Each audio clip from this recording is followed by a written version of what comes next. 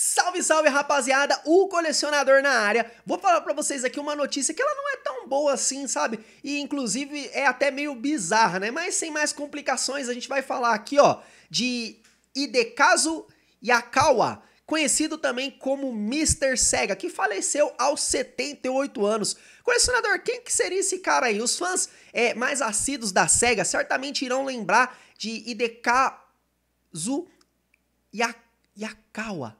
Olha o nome complicado, hein, mano.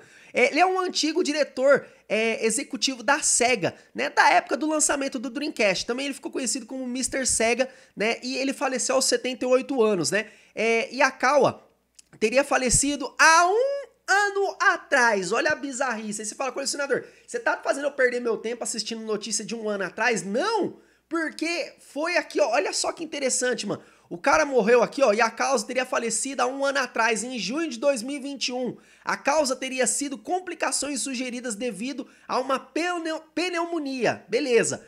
A família do executivo decidiu manter a morte dele no privado, ou seja, a família deixou só foi avisar ontem, no dia 6 de junho, que é, o, o Mr. Sega veio a falecer, né? Então, emoções fortes podemos sentir. Mas eu vou mostrar para vocês, porque muita gente não sabe quem é ele. Ele é um cara que participou de vários e vários comerciais da Sega, né? Então, eu mostro aqui para vocês aqui, ó. Inclusive, ele tem uma edição aqui, ó. Deixa eu colocar aqui, arrumar a tela aqui, ó ex-diretor da SEGA, estrela do Dreamcast. Ele tem uma edição especial de Dreamcast que vem com, com a foto dele na, na parte de trás da caixa, né? Inclusive, para você que tá acompanhando o canal aí, eu já vou pedir para você se inscrever agora, deixar o seu like, ativar o sininho, mas deixa o like mesmo que esse vídeo é uma estreia, só tem essa merrequinha de like aí. Ajuda nós aí, pai. E aí, ele, ele ganhou uma edição exclusiva dele, né? A edição meio que presidencial, né? O pessoal é, é, sempre falou isso, né? Tem vários sites comunicando, né? E ainda, inclusive, aqui, ó, é, pneumonia em 2021, né? Outros sites também relatam isso. E é interessante a gente estar tá sempre mostrando aqui. É... Teria aqui, ó, tem uma pessoa famosa aqui, né? Teria sido um nome. É, aqui, ó.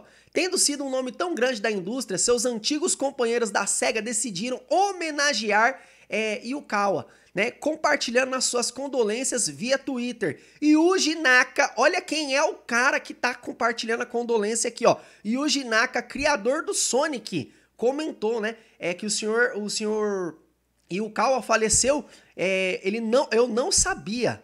Rezo pelo descanso da sua alma. O senhor Yukawa me ajudou muitas vezes é, de, é, me ajudou muitas, de muitas formas e eu sinto a sua falta. Já Junichi Kanemaru, né, voz do Sonic, disse: Eu não sabia disso. Pensar, é, pensando bem, eu estava encarregado do Sonic do Dreamcast. Né? Então, é, e o Kawa que descansa em paz. Então, até é, os grandes nomes da, da os grandes nomes né, do mundo do, da SEGA, né, como o criador do Sonic aí, né, é, citou que não sabia, né? Então a família escondeu a, a, a, como que fala? Escondeu a morte dele por um ano, né? Então a SEGA publicou isso aí, né? Infelizmente é mais uma perca aí pro mundo dos games, tá? Galera que é nova no canal, se inscreve, veja os últimos vídeos aqui do canal do colecionador. Eu vou ficando por aqui, um forte abraço, comenta aí o que, que você acha sobre essa notícia ter vazado depois de um ano.